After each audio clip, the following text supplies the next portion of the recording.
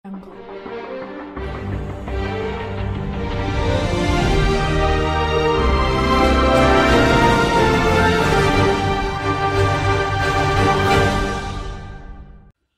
மாணவர்களுக்கும் இனிய மாலை வணக்கம்.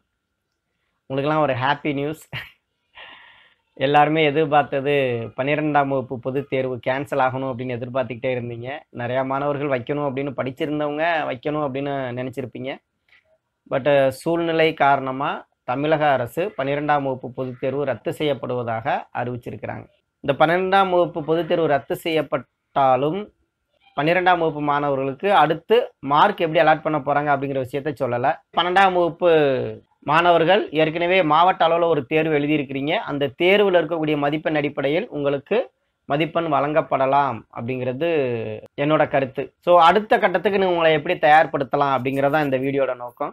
டுவெல்த் எக்ஸாம் முடிஞ்சிருச்சு இப்போ. ரிசல்ட் வந்தாச்சு. எல்லாரும் பாஸு மார்க் மட்டும் தான் தெரியாது. காலேஜில் எப்படி ஜாயின் பண்ணலாம் அப்படிங்கிற விஷயத்த இதில் சொல்கிறேன் பன்னிரெண்டாம் வகுப்பு பொதுத் தேர்வு ரத்து செய்யப்பட்டதால் அடுத்து வரக்கூடிய கல்லூரி படிப்புகளுக்கு கண்டிப்பாக நுழைவுத் தேர்வு இருக்கும். என்ட்ரன்ஸ் எக்ஸாம் கண்டிப்பாக இருக்கும். அதனால் நீங்கள் பிஎஸ்சி ஆர்ட்ஸ் அண்ட் சயின்ஸு அல்லது பிஏ ஆர்ட்ஸ் அண்ட் சயின்ஸ் சேர்ந்தாலும் சரி பிஇ சேர்ந்தாலும் சரி அல்லது எம்பிபிஎஸ் பிடிஎஸ் ஆயுஷ் யுனானி ஆயுர்வேதா சேர்ந்தாலும் சரி நர்சிங் சேர்ந்தாலும் சரி அல்லது அக்ரி வெட்னரி சயின்ஸ் இந்த கோர்ஸ் எல்லாத்துக்குமே நீங்கள் கண்டிப்பாக ஒரு என்ட்ரன்ஸ் எழுதுகிற மாதிரி இருக்கும். என்ன ரீசன் கேட்டிங்கன்னா ஏன்னா பன்னெண்டாம் வகுப்பு பொதுத் தேர்வு நடக்கலை. அப்போ நடக்காதனால வேற எந்த வகையில் மாணவர்களை தேர்வு செய்வது அப்படிங்கிறதுல ஒரு பெரிய குழப்பம் இருக்கும். அதனால கண்டிப்பாக நுழைவுத் தேர்வு இருக்கும். ஏற்கனவே நீட்டு படிச்சுக்கிட்டு இருக்கவங்க நீட்டை கண்டினியூஸாக படிச்சுக்கிட்டு இருங்க. அதுக்கு ரொம்ப தீவிரமாக படிங்க. ஏற்கனவே ரிப்பீட்டர்ஸ் இருப்பாங்க. அவங்களோட போட்டி போட்டு படிக்கணும். நல்ல வாய்ப்பு கிடைச்சிருக்கு. இந்த ஃபஸ்ட் வீக்கில் இந்த வாரத்தில் உங்களுக்கு நீட்டுக்கான நோட்டிஃபிகேஷன் வந்துடும் ஸோ அடுத்து ஆகஸ்ட் மாதத்தில் உங்களுக்கு எக்ஸாம் இருக்கலாம். அதனால் தரவாக படிங்க. நீட்டு படிக்கிறவங்க கண்டினியூஸாக நீட்டுக்கு படிச்சுக்கிட்டு இருங்க.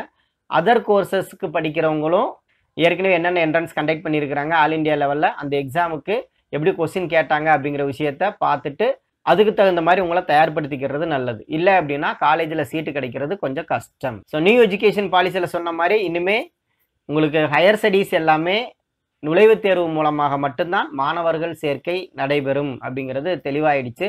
அதனால் எல்லாம் என்ட்ரன்ஸுக்கு ப்ரிப்பேர் ஆகுங்க எக்ஸாம் முடித்தாச்சு எல்லாம் ஹாப்பியாக ஆல் பாஸ் வந்தாச்சு. இனிமே அடுத்து நீங்கள் என்ன பண்ணலாம் அப்படிங்கிறத மட்டும் யோசிங்க.